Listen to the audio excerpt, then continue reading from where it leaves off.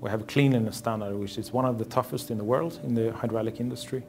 And we now certify that our products actually meet those requirements. And that's a really game changer. Nobody else have done this in the market before.